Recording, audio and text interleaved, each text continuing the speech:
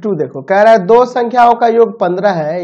यदि उनके व्युतक्रमों का योग तीन बटा दस है तो संख्याएँ ज्ञात करें। तो माना, पहली संख्या पहली संख्या बराबर में x, दूसरी संख्या दूसरी संख्या बराबर में y मान लेते हैं, ठीक है?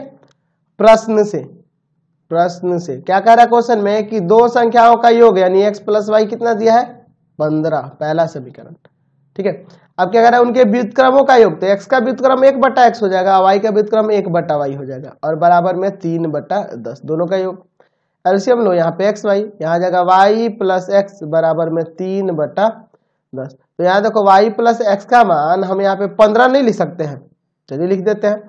तो यहाँ पे पंद्रह और बटा में एक्स वाई बराबर में तीन बटा दस। हम देखो ना, ऐसे ही काट देते हैं, पाँच बार में। यहाँ एक बार में। क्रॉस मल्टीप्लाई कर देंगे तो यहाँ एक्स इंटू वाई जो आ गया, आपका पचास आ गया। ठीक है? अब देखो, यहाँ तो हमें बनाना है किससे? दो चार वाले रैखिक समीकरण के रूप में ना। अगर आप यहाँ सोच रहे कि सर यहाँ से एक्स का मान निकाल के यहाँ रख देंगे तो वो तो आपका द्विघात समीकरण बन जाएगा। इसलिए हम लोग इसको प्रयोग नहीं करेंगे। हमें यहाँ दो चार वाले रैखिक समीकरण से ही बनाना है, इसलिए थोड़ा आप चेंज करेंगे।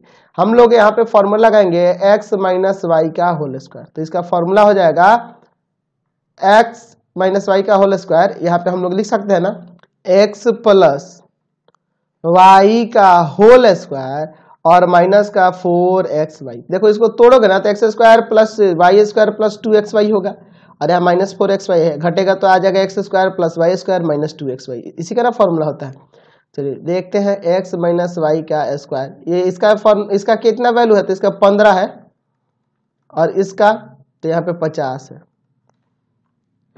चलो, इसके बाद देखते हैं। एक्स माइनस वाई का होल स्क्वायर बराबर 225 माइनस दो सौ। एक्स माइनस वाई बराबर जाएगा रूट अंडर 25 प्लस माइनस लगेगा तो एक्स माइनस वाई बराबर प्लस माइनस पाँच। तो केस पहला पहला हो जाएगा एक्स प्लस वाई बराबर पंद्रह, पहला समीकरण, और यहाँ से एक ले लेंगे एक्स माइनस वाई बराबर में पाँच, यह दूसरा समीकरण।